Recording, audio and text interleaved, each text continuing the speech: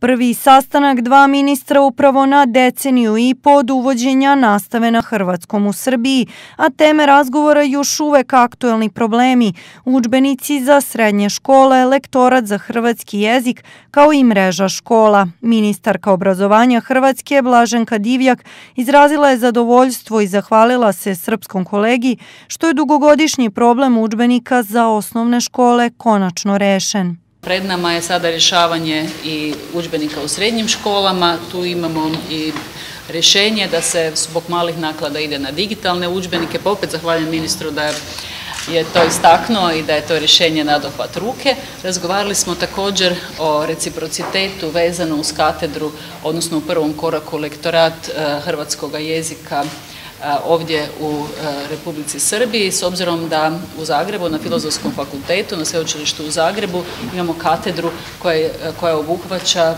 znači srpsku književnost i u tome smislu mislim da je ovaj naš početni razgovor važan kako bismo osigurali ovdje uvjete barem za lektorata onda u sljedećem koraku i za katedru.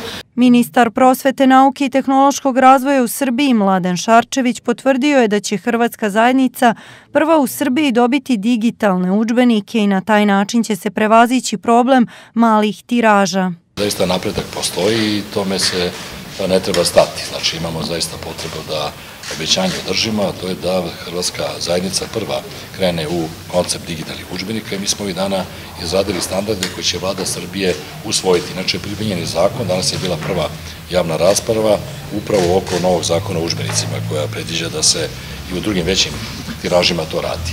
E, govorili smo o planu upisa, jer Srbija je u zoni konsolidacije finansijske nije mogla biti komotna nego što je bilo ove godine da napravi bolji plan upisa. I ono što sam ja uverio svoju koleginicu iz Zagreba, to je da podjednako ćemo primiti o svojoj deci, bez obzira nacionalnosti.